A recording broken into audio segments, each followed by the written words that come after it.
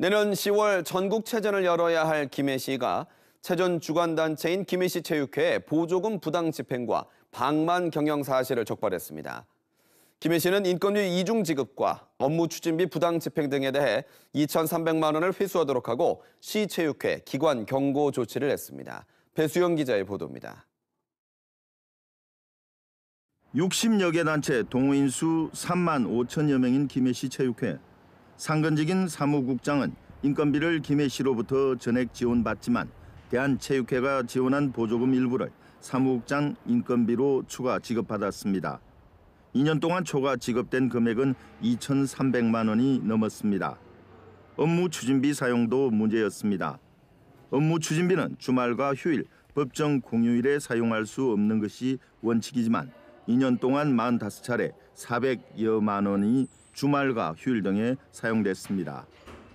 회장 자택 근처에서 사용된 업무 추진비도 65건에 100여만 원, 객관적인 증빙 자료나 소명되지 않은 업무 추진비 부적정 사용은 110여 건에 달했습니다.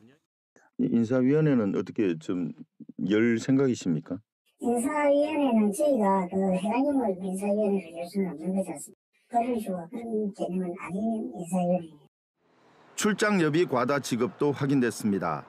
직원의 관내 출장은 공용 차량을 이용할 경우 여비 절반만 지급해야 하지만 전액 지급한 것으로 드러났습니다.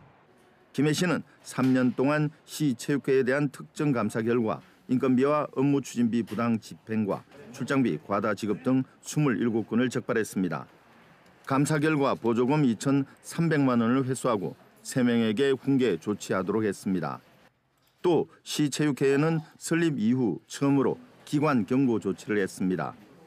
김해 시 체육회는 감사 지적 결과를 받아들이고 김해 시와 쇄신 방안을 협의하겠다는 입장입니다.